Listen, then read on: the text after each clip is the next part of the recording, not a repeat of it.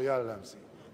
Emögött, a felfogás, emögött az a felfogás áll, hogy minden országnak csak egy köztisztviselői kara van, melynek a politikai változásoktól függetlenül folyamatosan kell feladatát ellátnia.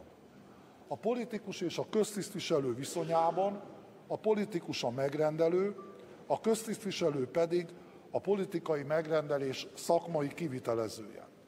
A köztisztviselői karral szemben ezért az egyik elvárás a mindenkori kormányzathoz való lojalitás, vagyis az, hogy a politika által megrendelt feladatokat legjobb szakmai tudása szerint megvalósítsa, a másik elvárás pedig politika semlegessége és politika mentessége. Ez utóbbi egyébként a köztisztviselői kar védelmét szolgálja, mert ez teszi lehetővé, hogy a köztisztviselő a politikai változásoktól függetlenül, önálló életpályát befutva, megélhetés biztosító hivatásként láthassa el szolgálatát.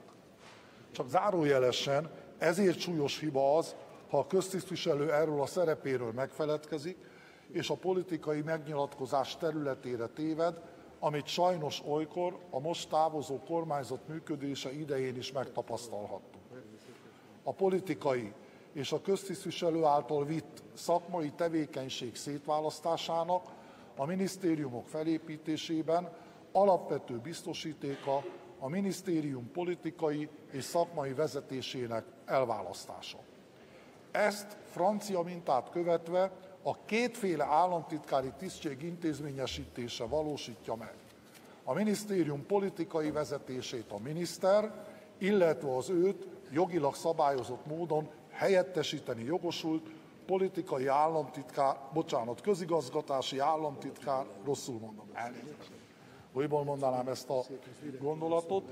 Tehát a minisztérium politikai vezetését egyfelől a miniszter, másfelől az őt jogilag szabályozott módon helyettesíteni jogosult politikai államtitkár látja el, míg a minisztérium köztisztviselői apparátusa élén a közigazgatási államtitkár francia eredetű elnevezése szerint régebben ezt használták, az administratív államtitkár áll. Ez utóbbi nem politikus, hanem köztisztviselő, aki nagyon leegyszerűsítve a politika megrendelését közvetíti a köztisztviselői apparátus számára. A közigazgatási államtitkári tisztség létezése önmagában is védelmet jelent a köztisztviselői kar politikai intaktságának megőrzésében, a politikának való kiszolgáltatottsággal szemben. E tisztség megszüntetése a takarékosabb állam ebben az összefüggésben hamisan használt jelszavának jegyében olyan valami volt, mint hogyha a takarékosság eszméjére való hivatkozással a nagyzenekarból eltávolítanánk a fúvósokat. Az elmondottakra tekintettel a kereszténydemokrata néppárt a közigazgatási államtitkári tisztség visszaállítását, mint a régi bevált és fontos alkotmányos megoldáshoz történő visszatérést megelégedéssel üdvözli és támogatja. Tisztelt Országgyűlés! Ha van valami, ami szinte semmiféle halasztás nem tűr, az az önkormányzatok működésének törvényessége feletti központi állami ellenőrzés helyreállítása. Erről már többen szóltak, az imént előttem megszólaló Rétvári képviselőtársam is, azonban a kérdés olyan fontos, olyan lényeges, hogy magam is szeretnék erről néhány szót szólni. Mint tudjuk, ezt a feladatot, mármint az önkormányzatok működésének törvényessége feletti központi állami ellenőrzés feladatát korábban a megyei közigazgatási hivatalok látták el, melyeket a most lelépő kormányzat irritáló arroganciával még évekkel ezelőtt számolt fel. A történet, melyet Rétvári képviselő is részletezett, valamennyiünk előtt ismert.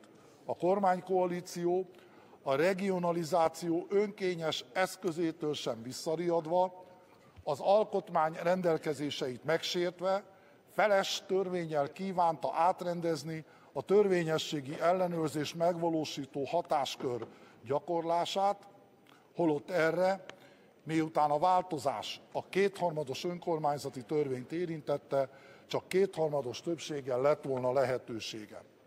Az Alkotmánybíróság természetesen az említett törvényi rendelkezést megsemmisítette, amire a kormány példátlan cinizmussal úgy válaszolt, hogy kormányrendeletben rendezte lényegében változatlan módon a kérdés most már nem csak a kétharmados szabály, hanem a törvényi szint kötelezettségét is megkerülve. Az eset kapcsán az Alkotmánybíróság kénytelen volt a jogalkotónak az alkotmány tiszteletben tartásáról leckét adni. Idézem a 131 per 2008-as számú alkotmánybírósági határozat vonatkozó részét. Az alkotmánybíróság rámutat arra, hogy a jogállamban bármely politikai törekvés csak az alkotmány keretei között valósítható meg. A jogállamiság elvével összeegyeztethetetlen az, ha a kormányzat az alkotmány garanciális rendelkezéseinek kiüresítésével, azok tudatos félretételével valósítja meg a közigazgatási szervezeti rendszer reformjára irányuló törekvéseit. Eddig az Alkotmánybíróság határozatából az idézet. Miután az Alkotmánybíróság döntése az eredeti állapotot automatikusan nem állította helyre, állt elő az a helyzet, hogy az önkormányzatok most már több éve úgy működnek, hogy a kormányzat az alkotmányban előírt általános törvényességi ellenőrzési kötelezettségét nem látja el. Ez botrány.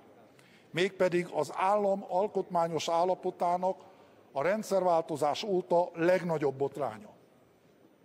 Miután az alkotmány 35. szakaszának első bekezdése, D pontja, a helyi önkormányzatok törvényi törvényességi ellenőrzését.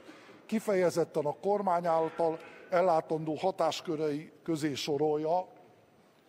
Egyébként a kormány számos hatásköre közül negyedik helyen említve ezt a feladatot. Az új felelős kormány egy pillanatig sem működhet úgy, hogy ez az alkotmányos hiátus ne lenne orvosolva ezért a megyei közigazgatási hivatalok visszaállításának elrendelése hasonlóan az adminisztratív államtitkári tisztség visszaállításához a kereszténydemokrata néppárt egyöntetű és feltétlen támogatását élvezi. Tisztelt képviselőtársaim! A törvénynek jó néhány rendelkezése azokat a struktúrabeli eltéréseket tükrözik, melyek az új kormányzat felépítésére vonatkozó elképzelésekből következnek. Ezek tulajdonképpen közigazgatásbeli kérdések, mögöttük a közigazgatás mai gyengeségei kiküszöbölésének szándéka áll. Voltak éppen új, még nem kipróbált, de végig gondolt megoldásokról van szó, aminek igazi próbája a gyakorlat lesz. A kereszténydemokrata néppárt képviselőcsoportja támogatja ezeket a megoldásokat, és a törvényjavaslat e tekintetben is történő elfogadásával bizalmáról biztosítja ezeket az elképzeléseket. Tisztelt képviselőtársaim, összegezve az elmondottakat, mint arra a bevezetőben utaltam, a törvényjavaslat gyors elfogadása a kormány mielőbbi fel, felállításának előfeltétele. Ez a prioritás megengedhetővé teszi számunkra, hogy most ne vesszünk el egyes részkérdésekben. A közigazgatási államtitkári poszt, illetve a megyei közigazgatási hivatal visszaállítása pedig olyan további sürgősségi megítélés alá esik, amely a törvény lehető leggyorsabb elfogadását teszi indokoltá. Az elmondottakra tekintettel a kereszténydemokrata néppárt a törvényjavaslatot támogatja. Köszönöm megtisztelő figyelmüket!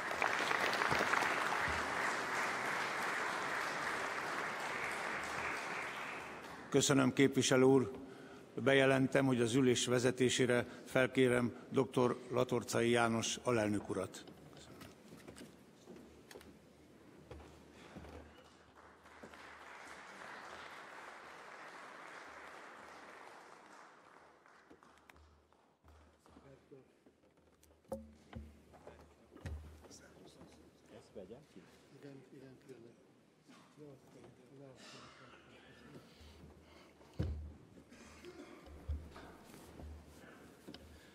Tisztelt Országgyűlés! Engedjék meg, hogy első ülésvezetésem alkalmával